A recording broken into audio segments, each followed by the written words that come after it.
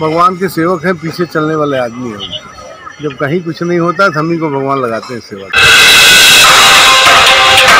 काशी प्रयाग के मध्य सिमराजनाथ धाम। यहाँ अर्धनारीश्वर के रूप में विराजते हैं बाबा सिमराजनाथ। इसी सिमराजनाथ धाम में आज नंगे पाँव पहुँचे।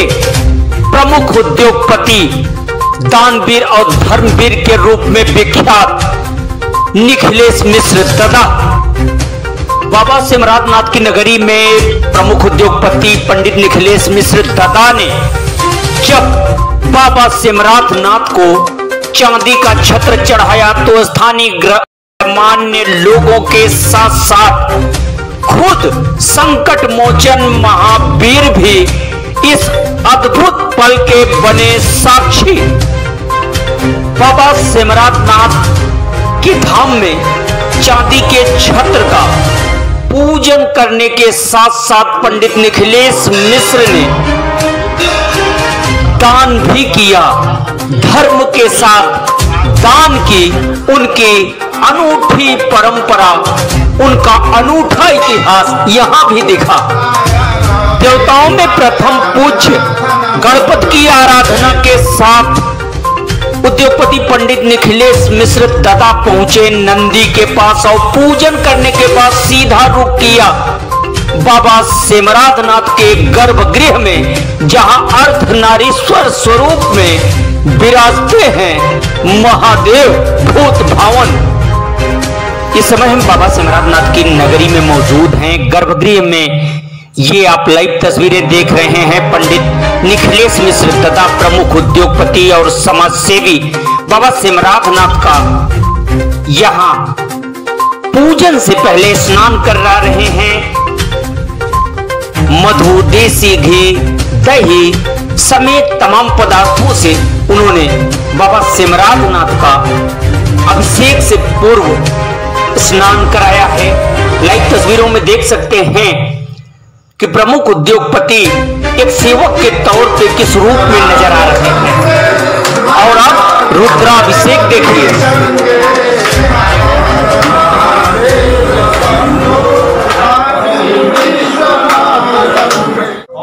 रुद्राभिषेक के बाद पंडित निखिलेश मिश्र दादा ने ज्ञानपुर के निषाद पार्टी के युवा विधायक विपुल दुबे के साथ बाबा सिमराजनाथ को चांदी का छत्र चढ़ाया।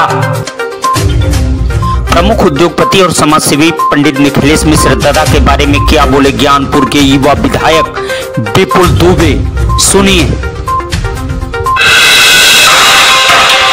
विधायक जी, दादा ने आज छत्र लगवाया है महादेव। किस स्थान पर पौराणिक ऐतिहासिक स्थान रहा है, वैसे भी दानवीर, धर्मवीर तो है ही हैं क्या कहेंगे दादा के बारे में? और हमारा पूरा क्षेत्र सौभाग्यशाली है कि आप जैसे दानवीर, धर्मवीर और सनातन धर्म की रक्षा के लिए हमेशा आप तत्पर रहें तैयार हैं। इसके लिए हमारा पूरा क्षेत्र आपका आजीवन आभारी रहेगा, ऋणी रहेगा। और आपके ही दान पुण्य से, आपके ही क्रियाकलाप से पहले भी मंदिर में जीर्णोद्वार का काम कराया गया था बाबा सिमराजनाथ की तपोस्थली पर और उसी क्रम में, उसी कड़ी में आज बाबा सिमराजनाथ के से ऊपर छत्र डाल करके उनको छाया देने का काम किया गया है। हमारे दानवीर आदरणीय निखिलेश मिश्रा दादाजी द्वारा और उसी तरीके से पूरे क्षेत्र पर बाबा शिवराज नाथ की कृपा बनी रहे यही बस कहना है दादा ऐतिहासिक कार्य आपके द्वारा महादेव किस नगरी में हुआ है क्या कहेंगे? देखिए ये सब माँ भगवती और भगवान शिव का ही आशीर्वाद है उन्हीं का है मेरा कुछ नहीं मैं तो निमित्त मात्र हूँ। सब उन्हीं का उन्हीं की प्रेरणा उन्हीं का आशीर्वाद उन्हीं की सब। है। लेकिन एक बात और है कि वो आप ही से करवा रहे हैं ये सौभाग्य। उन्हीं की इच्छा है ये भी उन्हीं की प्रेरणा है इसलिए इस विषय में और माता पिता स्वरूप शिव शक्ति के सेवक के रूप में विख्यात दानवीर निखिलेश मिश्र के बारे में क्या बोले लोग? सुनिए। धर्म प्राण पुरुष धर्म के दत्तक पुत्र दानवीर निखिलेश मिश्रा जी द्वारा इसके पूर्व में इस जनपद में अन्य जनपदों में ऐतिहासिक मंदिरों का पुनर्निर्माण कराया जा चुका है। भैया अरुण जी ने बताया कि कड़ेमानीपुर से लेके अब माँ चंडिका तक, मेरी जानकारी में लगभग 25 ऐसे मंदिर हैं, जिनका जीर्णोद्वार इनके द्वारा कराया गया। आज उसी क्रम में इनके द्वारा बाबा सिमराजनाथ को चांदी का छत्र चढ़ाया जा रहा है इस ऐतिहासिक मौके पर। हम भक्तजनों की उपस्थिति, भोलेनाथ की कृपा है। के जगापुर गाँव के निखिलेश मिश्रा जी, जो आद्या प्रसाद मिश्रा जी के लड़के हैं, हम लोगों की जानकारी में कम से कम दसों मंदिर कड़े मानीपुर से लेते हुए, गोपीगंज दुर्गा मंदिर से लेते हुए, चंद्रिका माई के धाम को लेते हुए आज यहाँ सिमराज बाबा के छत्र लगवाने से लेकर के। ऐसे इस जनपद के लिए बहुत गौरव की बात है कि इस जनपद में, इस ब्लॉक जगापुर गाँव में ऐसे दानवीर, ऐसे दानदाता को भगवान ने पैदा किया है। ऐसे दानवीर के बारे में मैं क्या कह सकता हूँ, मेरे पास तो कोई शब्द नहीं है।